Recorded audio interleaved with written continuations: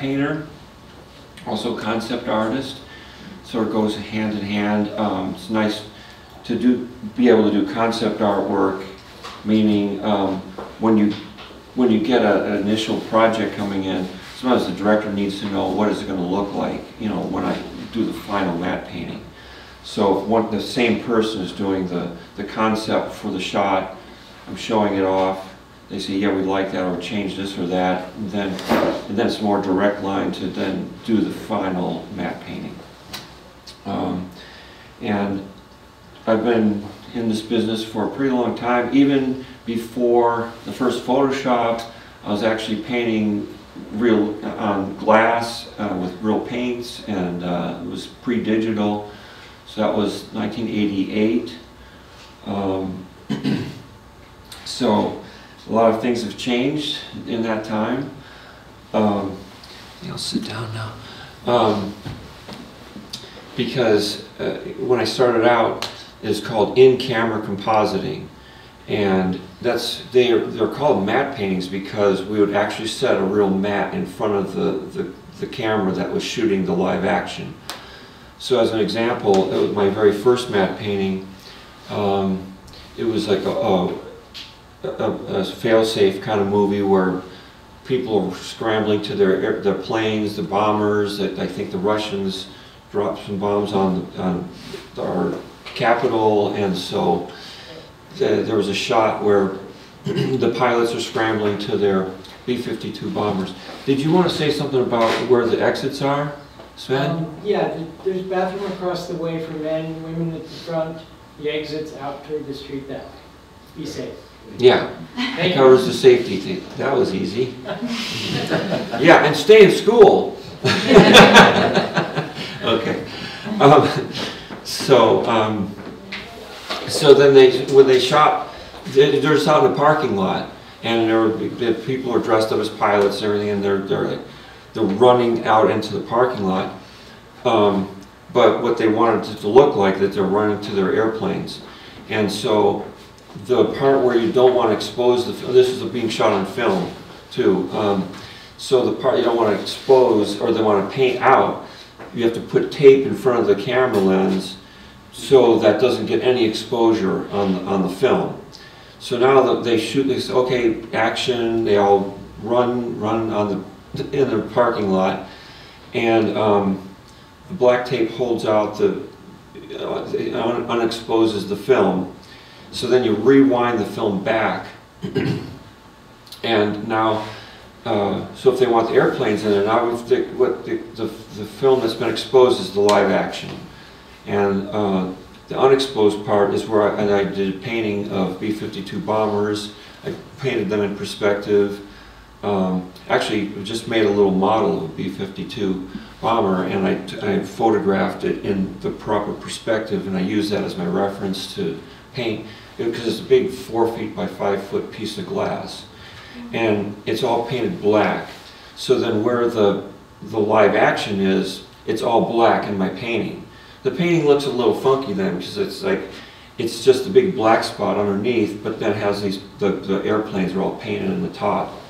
and what that does is then you have a matte camera that's on a locked off stand, and then the camera sees my painting where it, it'll expose the film where the unexposed film is uh, when they shot the initial photography. So um, now the, the film is seeing, exposing where it was unexposed, but it still has the live action is exposed. You want to make sure that doesn't get any kind of exposure in there because it'll double expose, it'll make like a little white line. So my, the painting has to be super precise. Um, I'm, this is just like, I'm talking about the old school stuff, the old school way of doing it, because that was a very physical technique and, and, and situation. Um, also, the, the day that you're, you're compositing it, you're running select film through the camera and you're, you're you know, taking pictures of your, of my matte painting. But if a moth or something flies through, or like what the matte, the mat stands have a, a, a lighting that has to light my painting to, to precise uh, exposure to match what the, the, the um, on-set kind of photography was.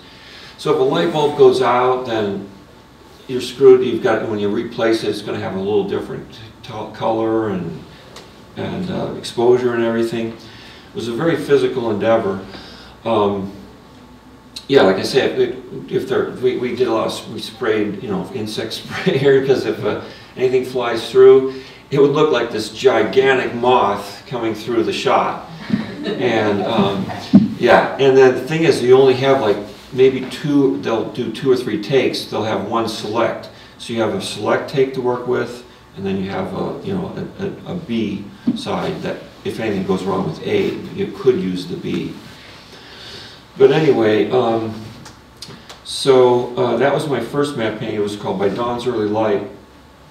I also did a, um, a shot where the president's looking out the helicopter window, and that, that's one of the things that a matte painter's matte painting's used for is like um, destruction. Like you can show the the the Capitol building all burned up and broken down. The you know like it, it's not real, but you know you, they want to show that the bomb hit the Capitol building and the Washington Tower, or Washington uh, Monument fell over, it was all busted up. So that was all in the painting.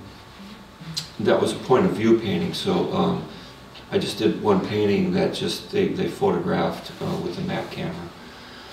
Um, but uh, I'm an award-winning artist, and what the, so they submitted the reel for that by Dawn's Early Light. They got we got nominated for the Emmy Awards, and then we actually won.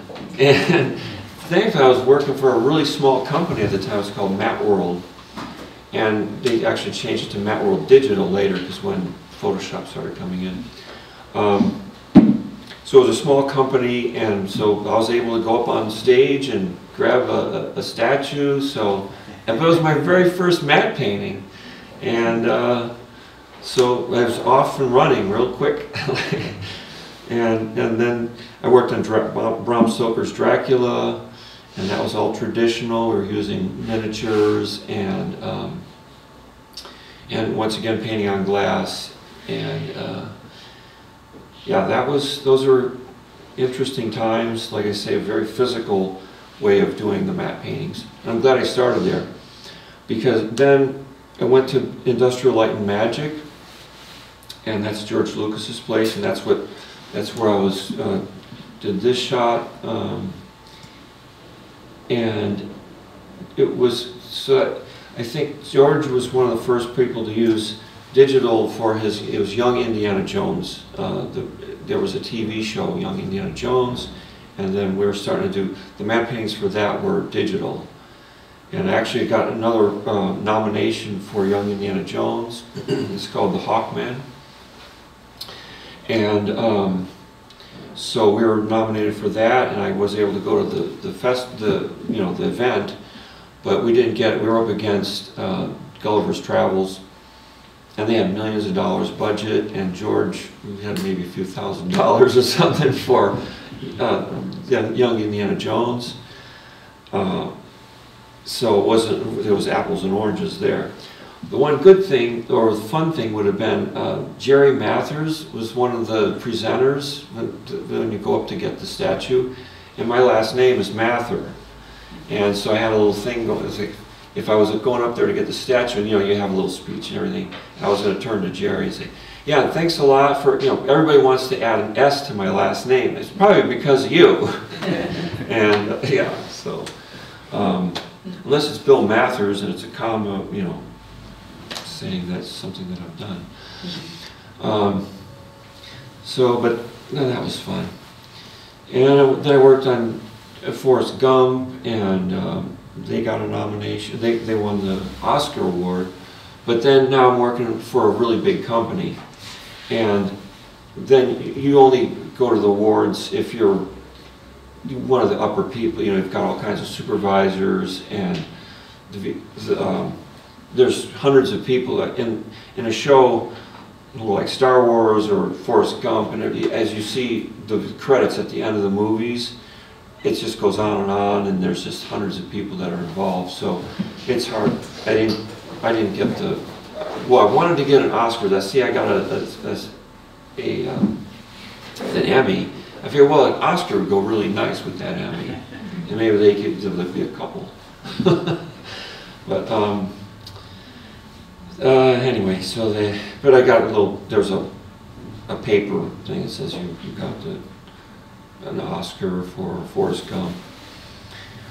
But let me get to, um, enough about me. I'll talk about, uh, you know, what it's all about to, to be a matte painter. So, um, when is a matte painting used?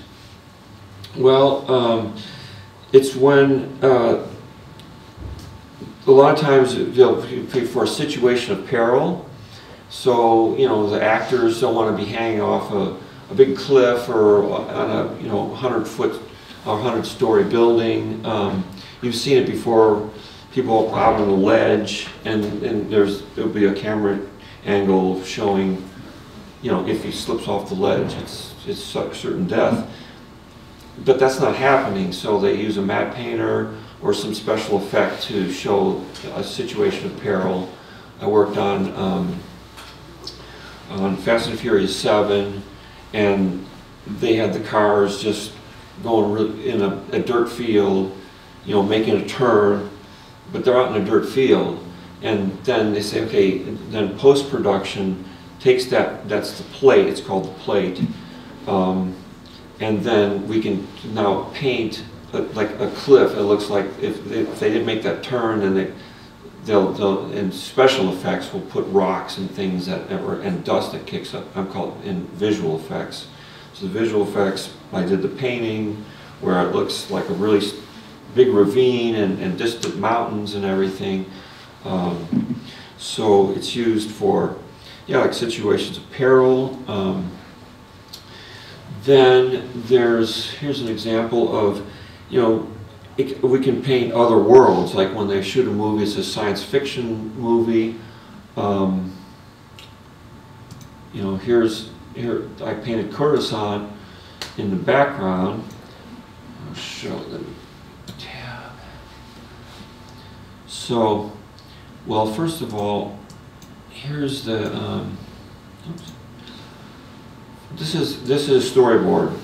So um, they'll shoot principal photography, then it'll go through a storyboard stage, um, and uh, that's where the concept and storyboard, like George is looking at, like how the what's what's included in the shot, right? And so that's that's the storyboard, and that's what I, it's given to me. Like, okay, well, we like this layout, so then I will start to um, you know, develop the, the look of, this is Coruscant, and it's a, it's a planet that's just all uh, developed and it's apartments and a lot of buildings. Um, so that's my base, and then they wanted a, uh, you know, a tower, then that tower matches, you know, this, and, and some, in some movies, that they were, they really follow this, the storyboard. You've got to be very accurate and, and and uh, stay with the storyboard. Sometimes the storyboard is just more of a suggestion. That's where me being a, a, a, concept artist will, will do a, first do a concept, show that first, and then they go, okay, yeah, develop that into the matte painting. But this was a storyboard that I had to really follow, and then on another layer, uh, I keep the, the plate. So, you know, this is just the, the live action that they shot. And then, um, then I can put my uh, painting behind it. And then this is the little glow that's on the edge. So, you know, of course, Coruscant doesn't exist, and you know they can't just go and shoot something. Um, and so that's where a matte painter comes in.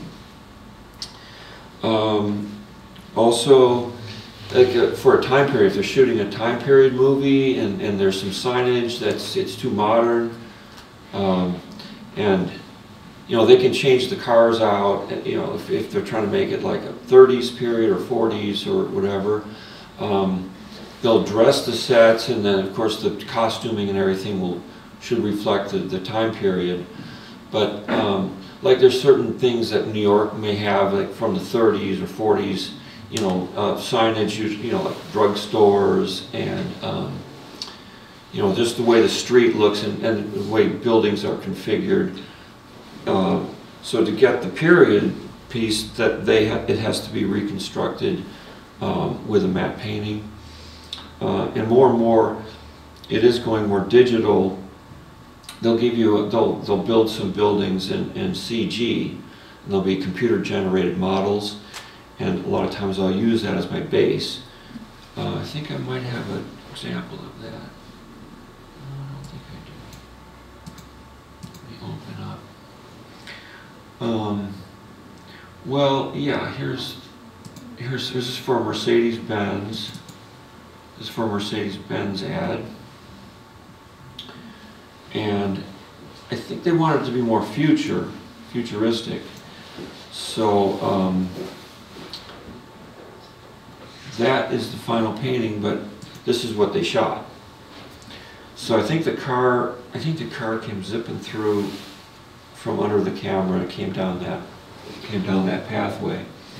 And, um, So are these, these paintings project, are done in in digital format and then they're projected on a wall and then the actors get in front of them and do their acting? no, um, sometimes that's How called that- a, uh, that? That's called a, um, a something like, something, translite. That's called a translite, but, When you- When you say these are paintings, are they actual paintings or are they digital and they're projected? well, I am saying paintings because, but they're digital. They're digital. No, yeah, the digital, I'm using Photoshop, um, but it's still all, all painting rules apply to it. You know, that's why I'm sort of glad that I, I did start with real painting and real on glass with paint, because I have that traditional background. So Um, before you, before Photoshop, you'd actually paint this on glass? Mm-hmm. Yeah, I would have. Yeah, I would have to paint all these buildings. Wow. Um, and, and then, yeah, it was, was really tedious. Um, so I'm really, some of my matte painting buddies did not embrace the uh, digital age.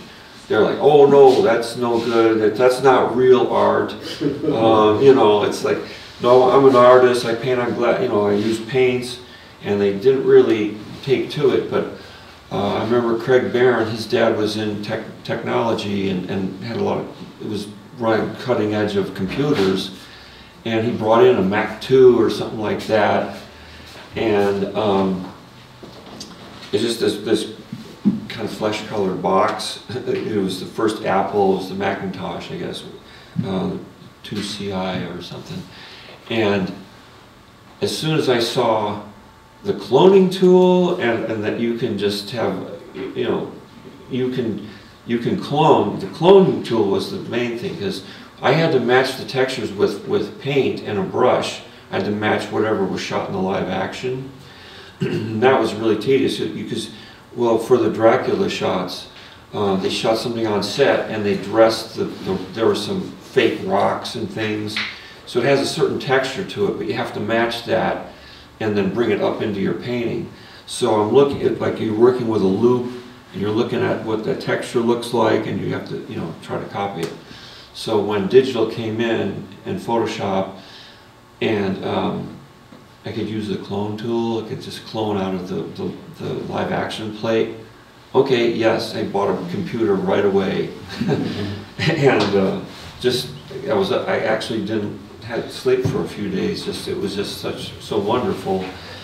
And so I took right to it. And along those lines, um, okay, so, yeah, this was a locked off plate. So then with digital, the camera can start to move a little bit too. Because like I was saying when I was, when it was, when it was in camera compositing, everything had to be locked off so, super solid. You couldn't have any dynamic camera moves or anything because, you know, like I said, the, the matte line had to be very precise and you just, you just can't have any movement. Uh, this was a, per- this was a locked off shot. Um, so, uh, that was for Mercedes-Benz commercial. But, um, what was I gonna say? You know, when I, when I heard that, you know, you could work digitally, that was back in the eighty, you know, 1988, 87. I was thinking, oh, those big square blocks, you know, oh, digital. And I was thinking like, you know, the Pac-Man or something kind of looking digital. But it was in millions of colors by then. And, um, and when I saw it, I was like, oh, no, that's photographic. And uh, so, yeah, I said that this is, I can see the potential for working digitally. So then, that was at Matte World. Then I was started working at um, at uh, Industrial Light and Magic, and a real bonus there was John Knoll was working at Industrial Light and Magic, and his brother Tom Knoll. You'll see it if you go into Photoshop, and it says about Photoshop. Oh no, right here. Um, about Photoshop. Second name Tom Thomas Knoll. So um, yeah, not scrolls. But anyway, the, the second name is, is Thomas Knoll. And so John Knoll was right there at ILM, so it was Photoshop 1, 1.1, something like that. So I was like, wow, yeah, this is a pretty cool program. Uh, I think we'll use it. And um. Um, so I was really fortunate to, to be on the the beginning part of, of Photoshop because we can input like what we kind of brushes we wanted and it didn't have any layers. I don't think layers came in until like Photoshop 3 or, or 4 or something like that. It had one alpha channel. It was just really new. And like I said, that we are using for Young Indiana Jones. Um, and our pictures, like when you're starting to work digitally, it's important how many pixels are in it. And television was only 720 by 586. And um, so we only had 720 pixels to work with. And I was painting a, boat, a, a picture of a boat for the Young Indiana Jones. There was something that was, they were loading it, and it had a mast and some of the ropes. But those ropes, were, they're not even almost, not even a pixel wide. So I was trying to get real fine lines with, at 720 pixels across. And just not that much to work with. This one here, yeah, it's 2020. Then it, then pictures started getting to 2,000 pixels across, and then you got, you have some pixels to work with. and now um, most shows now are 4,000. It's 4K uh, pic pictures, and like you see on television, you'll see um, it's 4K TV. And oh my God, that, now the detail's starting to get right up there actually some of the news newscasters starting to get nervous because it shows every blemish, you know, and so then makeup started to get real heavy. Um, and you'll see, yeah, there's a big difference between even just 2K television and 4K. So then it also upped the game for us matte painters too, because now we're working at 4,000 pixels and and a lot of times we'll I'll work twice up too. Like if the show is two two thousand, I'll just my painting will be 4K, and then so I can get the detail, and then when you shrink it down, you know it'll still hold up. And so now a, a picture will get to be 8,000 or 6,000 pixels across, and but you know what? Uh, computers have caught up.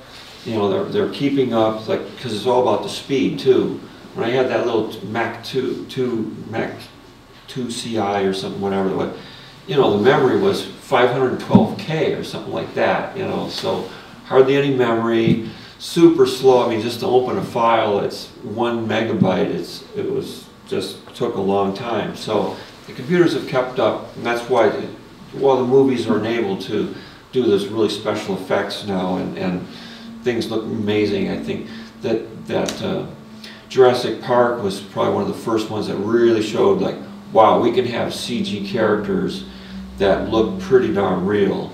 Um, that was pretty groundbreaking, that movie, because that's when I was at Industrial Light and Magic. Um, and because of the speed of the computers, the, and also the software got a lot better. And as far as like, that's that's not really my thing because that's character development and um, texture mapping and all that, but uh, it- you know, very impressive that, um, that's why the digital thing is, is working very well for movies and television. Um, And amazing things are happening, as you can see in, uh, in the movies today. Um, The one thing we want to try to stay away from is like the, sort of the, um, it's so sanitary. You know, that when, when the digital, when things were starting to get CG developed and, and computer generated, well, the computer's really good at patterns and, and doing things very precise and mathematical. And it just looks too sterile. It's, it's too, it's really, uh,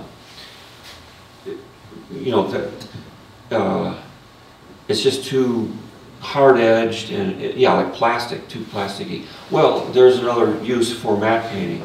I'll get, sometimes I'll get a plate that they've already generated, they've rendered it and all the texture maps and everything are on it, but there's some really hard edges um, in some of the geometry and, and the buildings or just the look of it.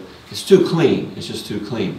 So, um, uh, matte painters, they're, we're supposed to just grunge it up, you know, just grunge it up and, and we'll have a layer of dirt and, I mean, even if you look in, in any environment, even if it's really nice and really nice area, Ojai, I mean, it, it's still gonna have little dirt in the edges of the streets and just little nicks and things like that. So, uh, as a matte painter, we pay attention to that kind of little detail, and that's how, what makes the, you know, takes the edge off of all the CG, the, the too clean of a look.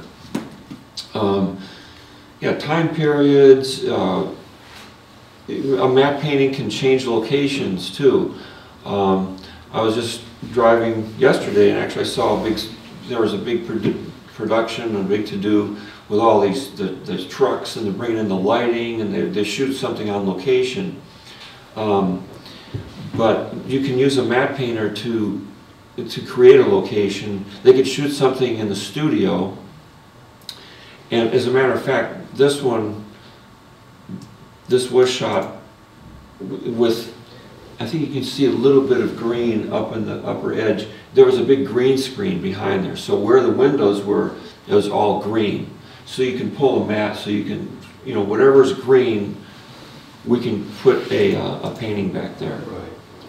So it's got, you know, green screen, blue screen, uh, you've probably seen that. Um, so to save money, sometimes a studio will say, well, okay, that's a green screen kind of shot because we want to have like a really the, the devastated background in the you know, we're, we're going to replace the whole background anyway. So instead of setting up cameras and, and shooting something on location, which is pretty expensive, uh, they could shoot something in the studio, green screen, blue screen, and then replace it with a matte painting.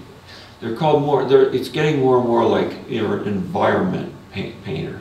We're environmental, environment artists, not necessarily environmentalists, but environment artists. Well, so, most of us are environmentalists too. Um, so, um, the matte, matte painting is good for saving money. Uh, you know, they can shoot, they can do a shot a lot cheaper than setting up a big location shoot. Well, they might shoot something, they'll send out a still photographer, like if they wanted a certain look for the background, desert or a cityscape or something, we'll hire uh, just a still photographer and they'll set, they'll, they'll shoot us reference pictures and we'll take those reference pictures and put them into the shot behind where the blue screen is or green screen. That happens a lot. Um, and like also, I, there was a movie about Christmas. Um, they shot it in Los Angeles though, but they wanted it to look like New York, so then they shot it in Los Angeles.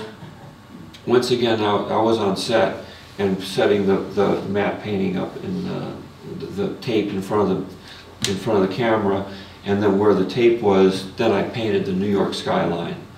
And um, so there was like, then there's just maybe three or four key shots, they're, they're called uh, establishing shots. Um, that say, oh, okay, they're in New York. But then the rest of them were like interiors or more close-ups on the, on the actors. And, you know, the movie goes on like that, but then there'll be an establishing shot, and those are the, that's the juicy stuff for matte painters, um, when you, when you do the painting for the establishing shot, because you're responsible for really setting the whole tone and, and the location of the whole movie. So, um, I think that name was, was All I Want for Christmas.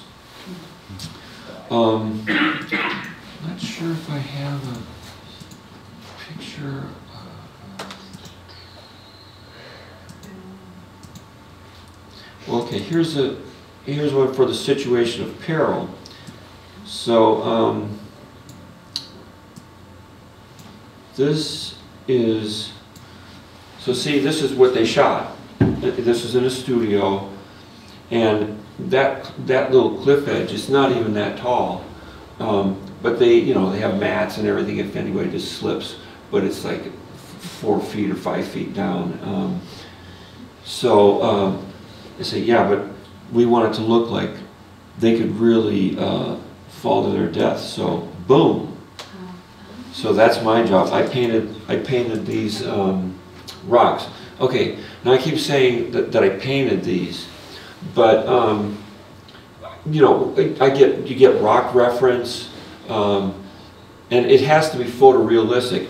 Oh, also there's a crop on this one, and then there's the color lookup, and then this is what this. They just used that one little window uh, for it was, it was for a TV show.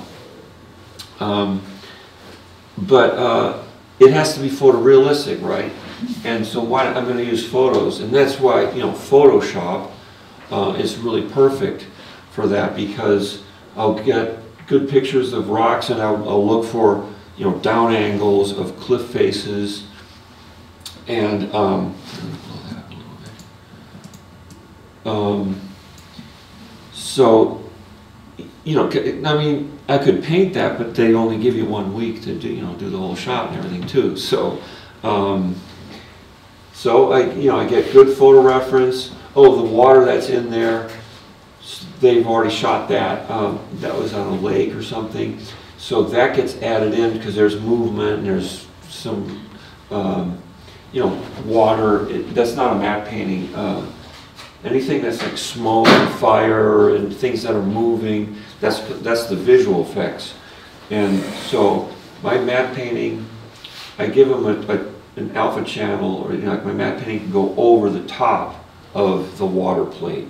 So they have a water plate that has the shimmer, then my matte painting goes in there, and then the, um, then the, the, the live action goes over the top here. This is, I actually painted all the rocks up like that, but then, see, I sort of matched the, um, the look, see, that's the, right up in here, is, the, that's the look, that, they actually had that on set.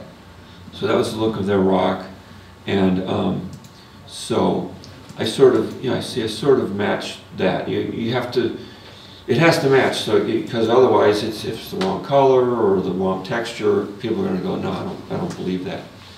And actually, that's what I have to ask myself it- when I'm done with the painting, is like, I buy that, or do I believe that? Yeah. And of course, it goes to the V- VFX supervisor too. Yes?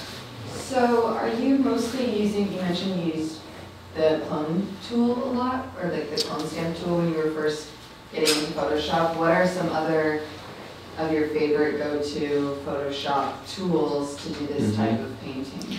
Well, yeah, the cloning tool, especially for maybe where the, the live action meets up with where my painting is, is going, so that way the blend is really seamless. Uh, You know, I will use the clone tool, but maybe not necessarily a clone tool, I'll use a, you can use a selection. I'll use a selection, I'll just grab a piece out of the, uh, the principal of photography and use that chunk and, and place it into my uh, painting. And then I'll, I'll use the paintbrush, the Are paintbrush you tool. using like the patterns for paintbrush, or are you using like actual color? I'm using actual color, yeah, just um, cloning, like, because that's where, that's where actual painting comes in, to, to blend the ph- photography to make it look like it blends, then I will use a, a, a paintbrush, either just a round brush, and I'll grab some of the colors from the, the, the live action. There's some, of course, Photoshop has all these custom brushes too. So they're good for textures, if I'm trying to, if I'm just painting some trees, like, of course, I'll still have a photographic tree, but if it's not a really nice shape or anything, I will use a clone tool to clone some of the, the leaves or something, but then I also use a, a paintbrush that has a texture to it, um, to, to paint with, to just, to, to do some blending. Now, you can get in trouble sometimes, and I have gotten in trouble, the the director or the VFX supervisor, says, well, that looks like a paintbrush. You know, that looks like a brush stroke there. And if that's when they start zooming in and they start, you know, really getting fussy, um, then they might, they'll, they'll say, yeah, that, I can see the brush stroke there. So you gotta be a little bit careful depending on how much they're gonna zoom in on it. Um, but other favorite things, like just be, being able to do good selections, I think is an important part of um, Photoshop. You know, because you have to make good selections to kind of, you know, pull the live action away from your painting and um, just use it to, I use levels a lot, like, well, here, right here, this is the color lookup. And um, so the live action plates were shot this way, it's kind of neutral looking. But then there's, there's a, uh, there's a, um, a step that's called color grading. So the, the, the- all the work is done, then they go through color grading, and the grader is responsible for just making the, the show one cohesive kind of look, like the color's not gonna, like it's gonna be really green or blue before the shot, and then it's like, this is all neutral.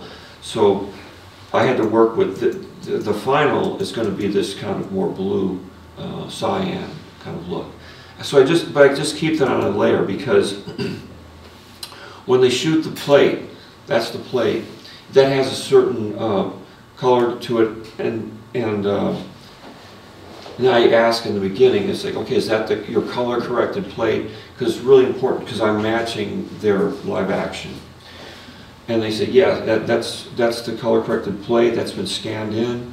Um, but we are going to, um, put this, this final grade on there, so it's the color lookup. I keep that on a separate layer. Um, then also, I forgot, uh, well, okay, this is for Lowe's. Um,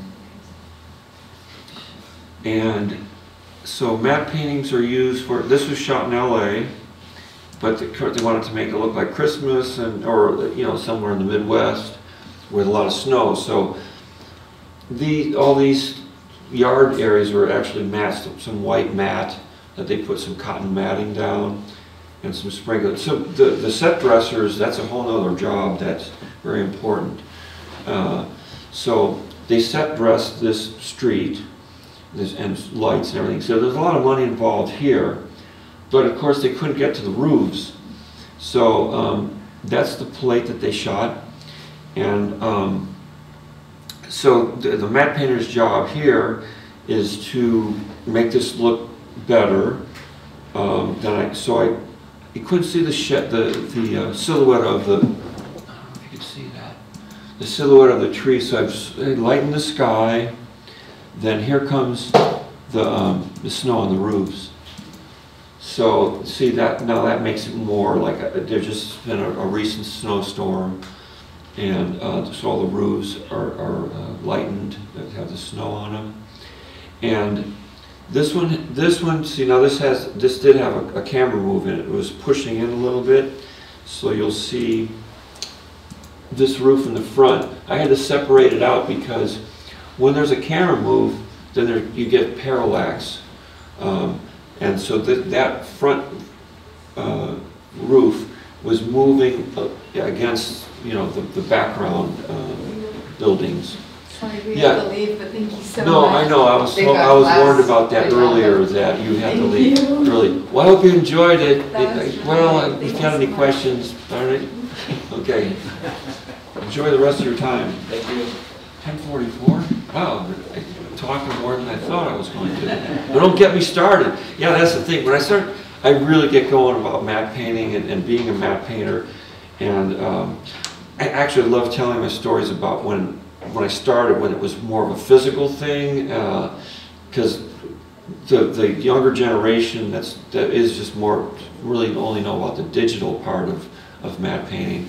They go, "What you worked on Bram Stoker's Dracula and um, and you know the, the other Star Wars films." Um, yeah, it's pretty exciting.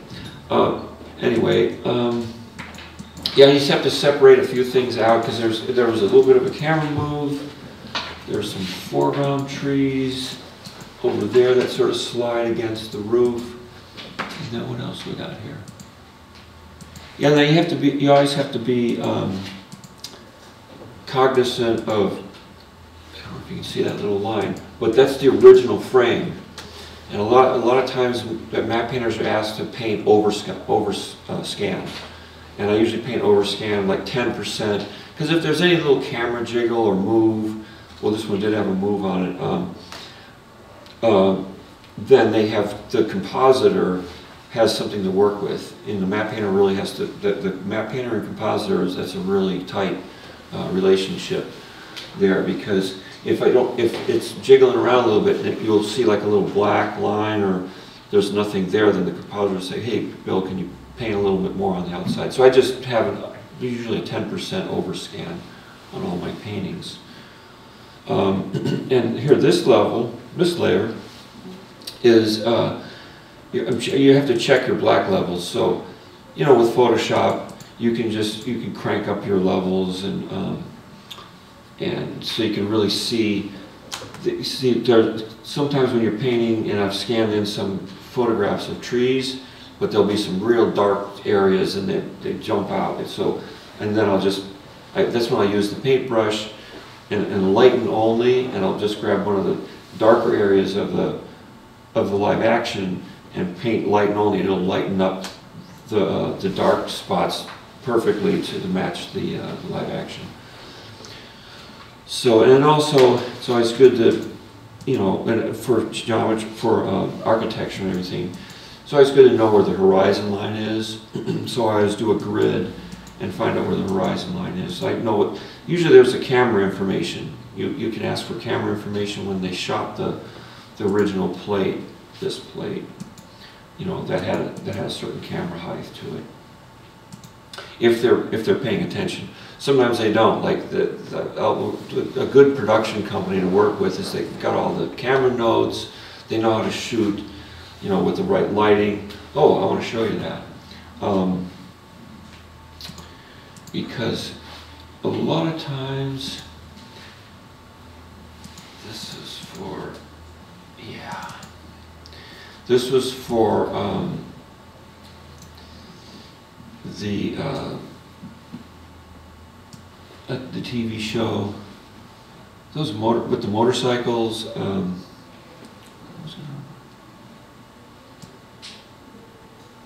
you know, what does that show that, you know, and there, there's a bunch of motorcycle gangs. Um, anyway, I know what you're talking about, I just can't read it. yeah, the Sons Mayans, the Mayans. Oh, nice. It's just, it's a takeoff on Sons of Anarchy, yeah. So this is for the Mayans, Mayans. The MTW, you always have like a, a shop number and everything that you work with as well. But see, look, this is where they shot the, they, this was the plate, but look at that big bright light back there. Um, but they have to get that, you know, because then there was, they wanted lightning in the shot. Um, but it's supposed to be a nighttime shot, so, uh, uh, so, and they want to replace the sky. So they know that light's going to be out of there. Um, but here's, okay, here's the cleanup. See, look, matte painting also is good for like any trucks and like lighting equipment and everything is in the plate. Go, oh yeah, we'll fix that in post. Uh, you know, it, it- actually, uh, cinematographers are getting a little sloppier and sloppier and this, oh, we'll fix that in post. You know, you hear that a lot. um, so that's what we do. We clean up, we took out that truck and everything. Um, then here's, so, yeah, then they want they wanted a really dramatic sky. And um, one of the, the, one of the comments was that if we want, excuse me, we wanted a religious guy. And I'm like, I'm not even sure what that means. and it made me nervous. Um, that was the, the, the director said, well, like a religious guy. Well, okay, then you have to be able to interpret sometimes what they're talking about. But this, you know, very like apocalyptic, I guess might be another word. Um, and then, like I said, they wanted lighting, lightning. So I painted, this was without lightning, and then this is with lightning. Whoa. So then with special effects, those are the people, here I'll show you, um, so this is, and this is one of the compositing. So this is working with a compositor, and see how it changes a little bit my painting. So you have to kind of know what they're doing to your painting. They're darkening the horizon and everything. But I'm giving them this, uh, this as my painting, and then the compositor, sort of as per, like sometimes the director's right over their shoulder, and they say, well, no, darken that, the horizon a little more, and they can put a, a matte there to darken the horizon.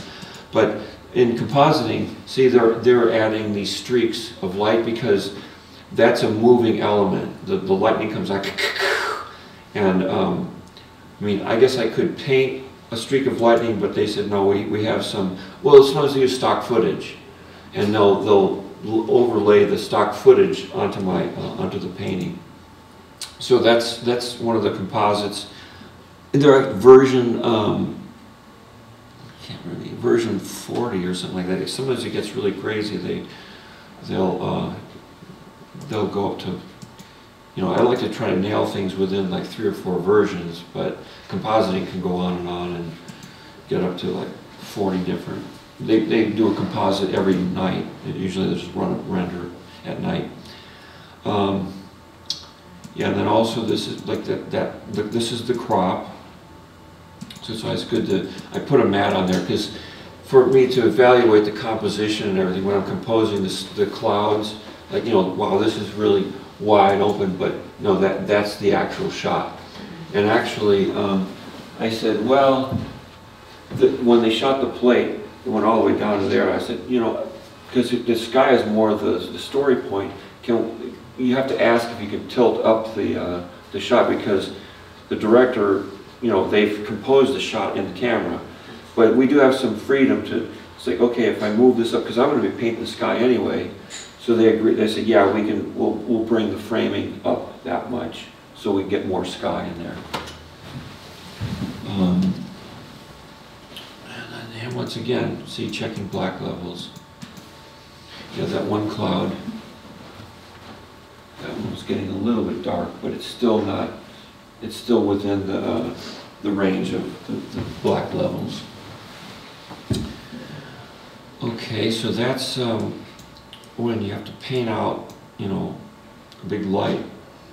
And then also, it's like, well, we have to make it, you have to, okay, well, where's that big light coming from? Because there's these huge shadows from the live action. So I was trying to get a really bright spot on the horizon, and I mean, there's only so much you can do. They're like, okay, yeah, it, well, it, they put a lot of rain and everything, and it's, it's fantastical anyways. These, it's these two gangs are like having this big battle.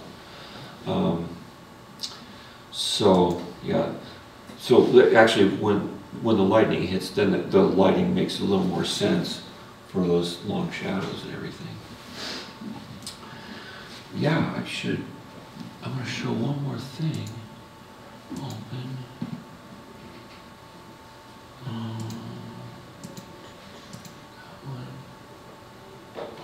I guess I'll just show this really quickly. Um, so this was a completely um, generated uh, background and foreground. This is for um, Beauty and the Beast, and um, so it's this is just completely made up. So uh, that's my the sort of the sky. That's the sky that I used. Then I put some distant mountains in there. Then I did the foreground. This was, they, they did have some models that they, they generated for me. That was my base. It's like instead, so you get the perspective and everything is correct. But once again, the, the computer-generated models, and the render was very, uh, too clean, it's too clean, so I had to break up a lot of the edges and put snow on the tops and everything. But it, it did start with a, a CG model. Oh yeah, and then I just had to make that a little bit bigger. And that's one thing where I take the selection of this area and then just take only that area and make that a little bit bigger. And then, yeah, some vases. Pretty sure, well, I may have, those may have been real vases that, because they have, they have a little more of a, uh, not computer generated look. And then the foreground of the beast and, and girl. Um, let's see. How long did that take to do these? Um, generally, yeah, matte painting, they give you about, a that one was a couple weeks. Uh, Yeah, because there was some back and forth on that one, because uh, I was changing the, the scale of the, of that, that mid-ground piece, and then they wanted more haze in the back, so, you know, I would work for at least four, three or four days to block it all in, and then you might, course, you don't want to show it too, too early either, because you can kibosh the uh, shot if they start, if you show it and it's in a sort of an ugly stage and they're, then they're, oh, then they start focusing on, well, you didn't change that, you no, that still doesn't look quite right, although it's- it's starting to really work, but they'll focus. So anyway, I'll show it at like probably four or five days in, and then get some feedback, goes a little bit back and forth. um, But, um, yeah, generally it's a couple weeks. And, and even a month, sometimes if it's a really complicated painting, um, it can go for a month, which is interesting, it, because when they say, oh, the, when it's digital, everything's going faster, we're gonna go boom, boom, boom, you can work really quick. It's almost about the same as when we were just working on glass. Yes? Um, so you've shown us things from like a lot of different projects, right? And so Mhm. obviously there's more than one scene that uses CGI in like a lot of your projects like this one and then Mhm. you're showing us before. Mm-hmm. And so when you do work for shows like this, do you tend to stick to, like, did you just do that scene or did you do more? Like when you have a job, is it like, here's this one scene or we want you to work on this movie where you're gonna do like multiple scenes? Right, right. That's a great question. Um, because sometimes there's like two or three matte painters that are working on a show. So usually there's like a scene, like if you're, if you're working on, like I was doing, this is the garden, the garden scene. Um, then if there's any other shots that are with this view, then I'll do this, the matte painting. Yeah, like, or there, I did some of the castle scenes too, like looking up in the, you know, in the balconies and like, because they were computer generated and I was just mucking them, again, putting snow on all the top edges and everything. But at a certain view, they say, oh, Bill's, Bill's handling when they're up on the, running around on the roofs and more the rooftops. And so there prob, there could be two or three shots that are sort of in that same area and then I'll handle all three of those. Um, and, uh, yeah, that's how it goes. And then it's actually when we're doing the turnover meeting that a lot of times this VFX supervisor is figuring out, okay, who's going to do what? And you start to assign, you know, the, the scenes because also like, like the Fast and Furious thing, I did all the, the, the wood scenes too, like when they were going through the forest and they were crashing through trees. Well, because there'll be certain scenes that, that all have three or four different shots. And so they'll assign that to, to me or to whoever's working on it. So, yeah, that, and that's where the, the good VFX supervisors, they'll know how to, you know, assign and break down, you know, breaking down the shots and to, into the blocks that now they can get the project done. It's all about timing and, and scheduling and everything. So, um, yeah. Let's see. Because there's a cool one, um, I worked on, yeah, this one. This was for, um, uh, American Horror Stories. And it was their promo. Yeah, now this, not too much going on. This is the, um, uh, the graveyard scene. And so, as you can see, well, here's a blue screen ex- example. So they're in, in a, um, in a big sound stage, and, uh, it's a little hard to see. Uh, this was a pretty dark shot. Um, so they had these zombies, they, they did say, they set dressed it, they had some trees and grave, and headstones, and they had th- these girls, there were zombies making, you know, walking really weird, um, like zombies do. And so they said, okay, um, but we want this to look, it- the, I think the whole thing was Dollhouse. One of the episodes is Dollhouse. And so, um, you know what, I might just go like this. Nope.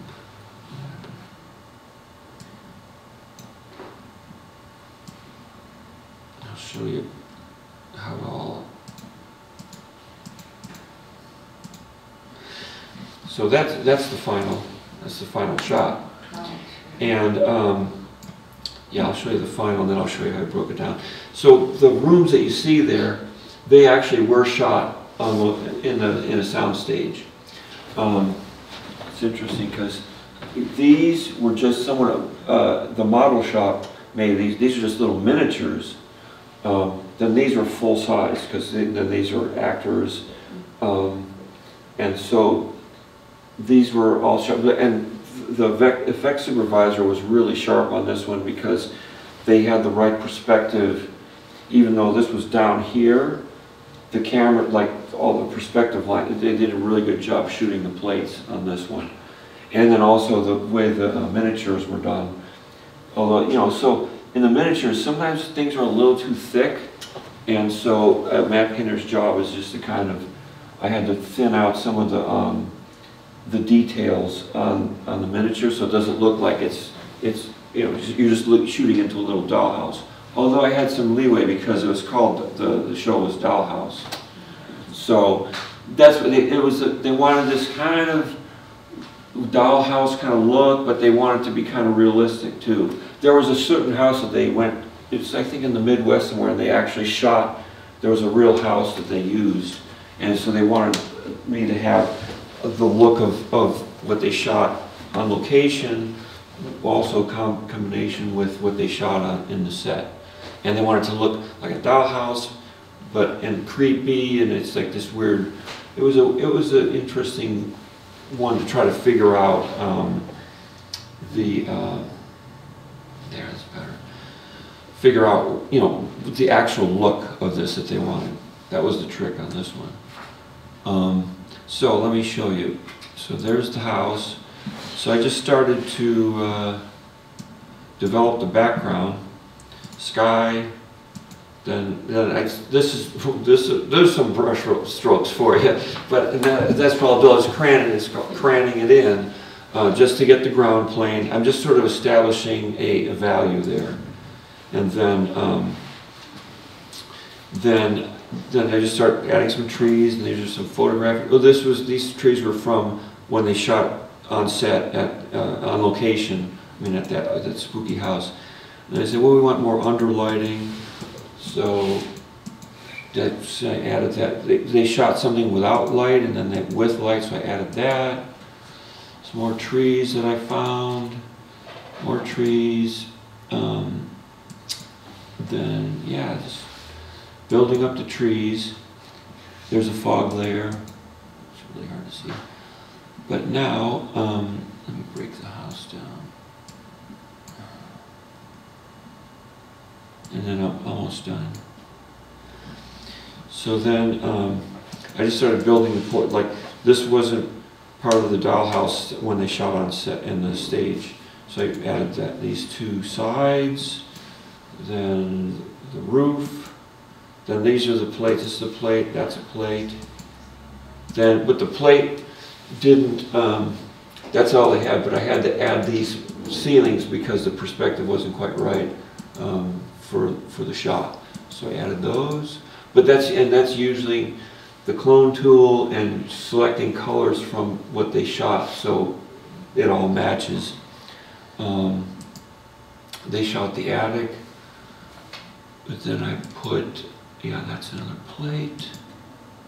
once again, I just had to add, you know, the, the ceiling to that. And these are the miniature rooms. And they put a little zombie in there. That one, that was actually someone that's moving around, so that wasn't part of my matte painting. So I have to deliver it like this, and then they add the zombie. But I, if they, if they put something in there, like the compositors put something in there, I like to see what they've done so I can kind of do my compositing and, and the lighting to match whatever they're putting in there, live action. These are the floor edges, then I put, know, that broke up the front of it, railing, some bushes. Um, and then that roof edge, that roof edge went up too far, high, and so I brought that down. So there's the house. Some four trees over here. So there was a lot of layers on this one. This one did go on for almost a month. Yeah, it was like three, and a half weeks. Um, but uh, that was that was a really fun project. You know, I really like it. well, once again, this was one of those juicy ones where it's establishing. It wasn't really seen as much, but I thought it was for prom promoting the the new American Horror Stories. Um, I saw it a few times, but they because when they do these campaigns, they have like many different things that they want to show. Like there was one with the boy just standing in the doorway, and, and the camera pulls back, and um, so. And that's another thing. As a matte painter, you can't get too attached, or you know, well, you should be attached, you know, passionate about what you're doing, but you can't be too upset or you know hurt if it's not. A lot of times your shot will get cut. You know, you some painting that you worked on for a month, and it's like, oh, that's not in the cut. You know, the editing will have their way with it. Compositors will have a way with your paintings. They'll crank up your levels and do some things. Like I showed you that, like that horizon got really dark, and um, so you just, you know, you're doing your best job, and uh, you care about it, but then you have to let it go too. You can't, and you have to. It's okay to let the VFX supervisor make changes, and I have worked with some matte painters like, no, that that's not right. I'm not going to change that. That, You know, this. Of course, you can make it. You know, I will say, well, uh, there'll be a, if there's a really strong reason for doing a certain thing in the shot, like compo- compositionally or, or with lighting or something. I'll, I'll mention it, you know, but they have the final say. It's like, you know, and they're like, oh yeah, you know, you're right, Billy. Yeah, we should, that's, we should leave that in there or something like that. But some people get a little too uh, emotional and uh, throw things. I think people throw their Wacom tablet. um, so, uh, and well, speaking about painting on glass, there was Mark Sullivan. Um, we were painting a glass, and so he put it out in the, the parking lot. He shot at, he, he shot it with a BB gun and stuff. It was, was kind of interesting. I don't know if he was. I don't think he was really mad at it though. He just wanted to to break the, you know, to shoot it and broke the glass. um, but let's see, uh, improvements, cleanup, set, set extensions. Yeah, like a matte painting's used for, uh, you know, they can shoot something with, in, in, on, on stage and then, but you can make it more grand, you know, set, extend the set up, make it look like, wow, this is a big hundred foot roof kind of room, but it was only like eight feet, you know, but you extend it up. So, yeah, so, any other questions? Yeah, One question. okay. This um, particular series that you were talking about, what, uh, what uh, years, what years was it in? In case we want to look it up and you... Oh, this was recent. Um, this was American Horror Story. Is American Horror Stories. So it's when they redid, like there was American Horror Story, um, and that's when there was like Hotel and Lady Gaga, and there was a whole series. So it's on HBO, and it was it's more a pretty recent series, probably just uh, six months ago, four months ago. Thank you. Yeah. Yeah, I think there's still, it's HBO and As a matter of fact, I start seeing some advertisements for AHS. I think they even have some, maybe some new ones coming out. And the first one that you mentioned, Fail Safe, what year was that? Oh, yeah, By Dawn's Early Light. What was it called? By Dawn's Early Light? It's like a fail-safe movie. Yeah. Um, that was 88, 1988. Um, so that, that was my very first one. So, uh, and it's with Powers Boothe and Rebecca De Mornay, very young Rebecca De Mornay was in that. Powers Boothe and James Earl Jones, the guy with the deep voice. He was the commander on the ground. Yeah, it was a good cast. It was a really good, ca- good, a good movie, good solid movie. We did solid airplane work and bombs and uh, jets flying through fake clouds and everything.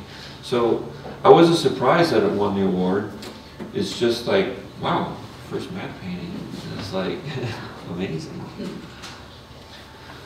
So thank you for your uh, attention. And, uh,